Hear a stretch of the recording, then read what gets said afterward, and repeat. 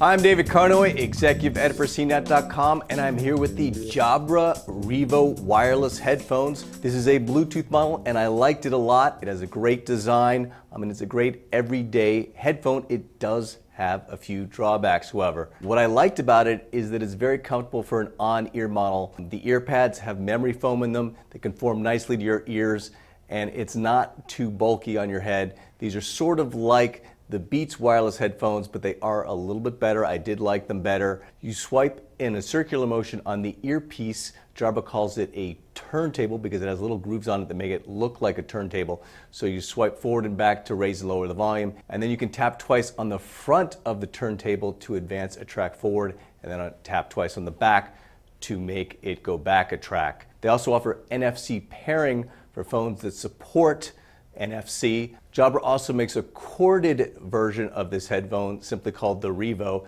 that costs close to $100 less. You can use this as a headset, and as you might expect from a company like Jabra that does make headsets, the sound quality is very good. A couple of things I wasn't so thrilled about. First of all, the carrying case that comes with this product is very basic, it's very thin, and it's really just kind of a cover for the headphones. At this price, right around $250 for these headphones, you'd expect something a little bit more luxurious.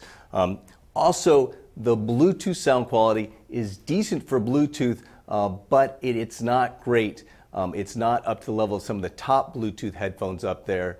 But if you aren't a total stickler for sound quality, uh, these are a very good wireless Bluetooth headphone.